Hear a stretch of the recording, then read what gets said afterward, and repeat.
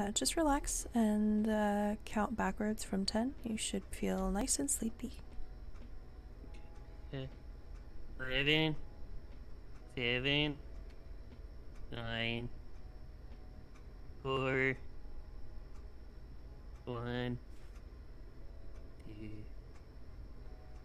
Here we are. All All right. right. Is he under? He isn't. He has been sedated and under. Got IV started and all that. Sweetheart, um, you want suction and you just want to watch? What, do- what do you Uh, feel comfortable with? Yeah, suction and um.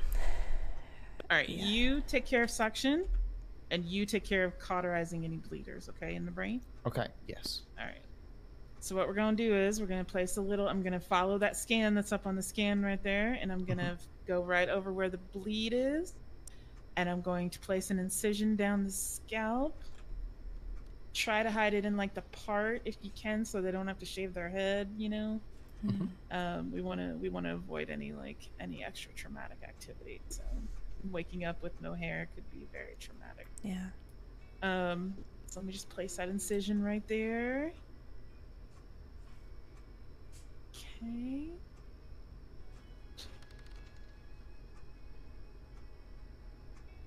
Just exposing the skin and retracting to the skull. Oh, I see that fracture right there.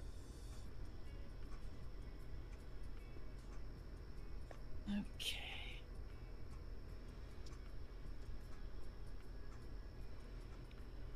All right.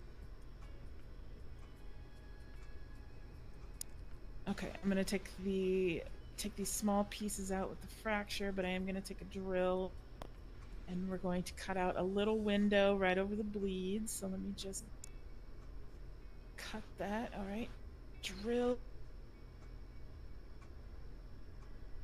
We'll have Nancy keep the blood flowing in, give him another unit of blood, so you guys don't have to worry about that. All right.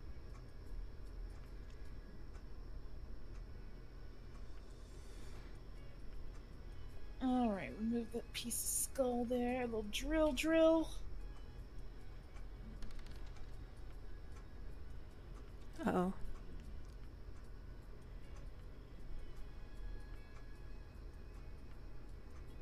Is that a bad thing or a good thing?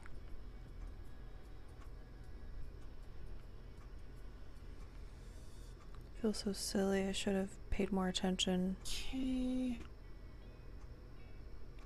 All right, can you get that bleed right there? Of course. We're gonna cauterize that. Yep, just zap, zap. Doing light. Okay. Okay, we've got the skull piece removed. All right, I'm going to place a couple sutures. Well, actually, um, go ahead and suction that excess blood, sweetheart. Okay, got it. And then I'm gonna go ahead and place a couple sutures on that bleed. We'll zap, zap. And where are you in the inter- that? Oh, R3. Okay, I, you guys left the door open, by the way. Uh, that was an accident. An accident. All right.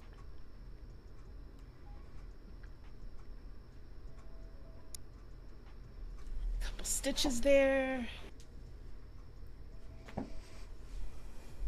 I did say I wanted a surgery. I'm nervous. Yikes. Mm. Oh no.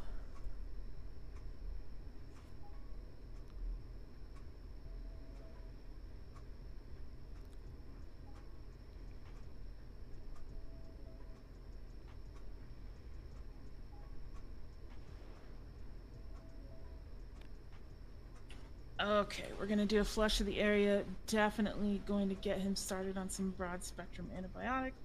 Maximum strength. Hmm. High dose penicillin. Woo.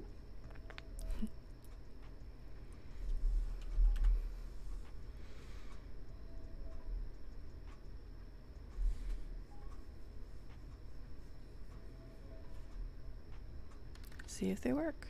Okay, they work. Well, that def lets lets some germs in. I can't. Success! Yay! Okay, I got the sutures there. You want to zap that little area there, sweetheart? Yep. Three, two, one. Okay, want to suction that excess blood. Got it. Okay, we're gonna do a quick examination of any other surrounding tissue. Always, when you're doing a surgery, right before you get ready to close, you just do a quick sweep. Make sure there's no like random bleeders that, you know, pop up or you missed something or anything like that. Just a secondary um, examination just to make sure. Make sure we got everything.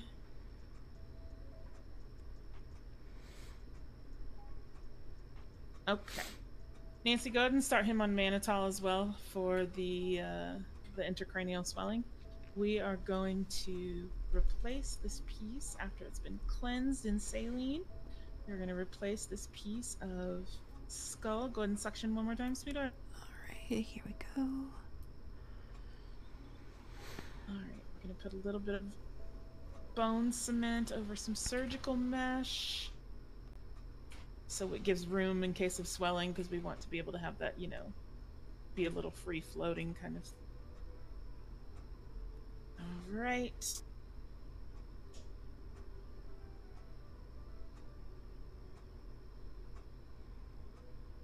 All right, we got the surgical mesh.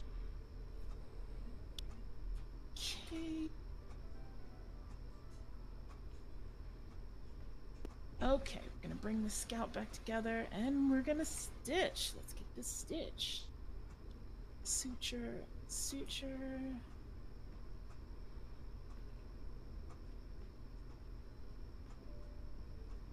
Okay. Pressure bandage right there. All right.